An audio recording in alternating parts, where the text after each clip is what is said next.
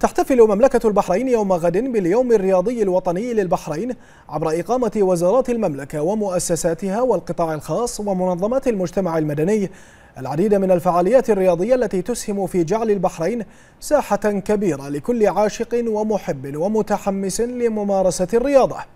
ويحظى اليوم الرياضي لمملكة البحرين باهتمام بالغ ومتابعة مستمرة من قبل سمو الشيخ ناصر بن حمد آل خليفة ممثل جلالة الملك المفدى للأعمال الخيرية وشؤون الشباب مستشار الأمن الوطني رئيس المجلس الأعلى للشباب والرياضة حيث يحرص سموه على حث جميع أبناء البحرين والمقيمين على أرضها المباركة بممارسة الرياضة وجعل الرياضة أسلوب حياة يومي.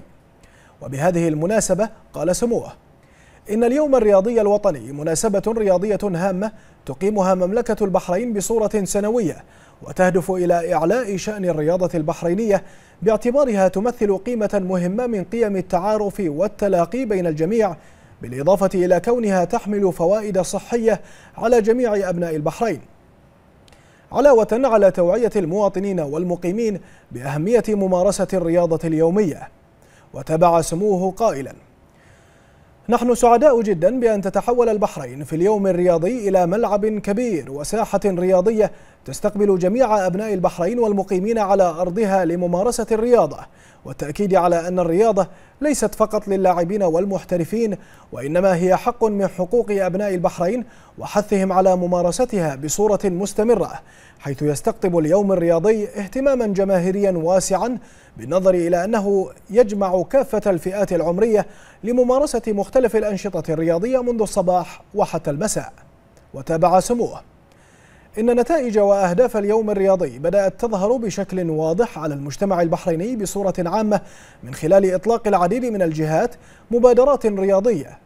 خلال العام وتشجيع الجميع على ممارسة الرياضة بصورة منتظمة بالإضافة إلى زيادة حجم المنشآت العامة التي تستقبل ممارسي الرياضة بشتى أنواعها علاوة على الوعي الكبير من قبل أبناء البحرين بمختلف الفئات العمرية بأهمية الرياضة وممارستها بصورة منتظمة وعدم اقتصارها على يوم واحد أو أيام محددة.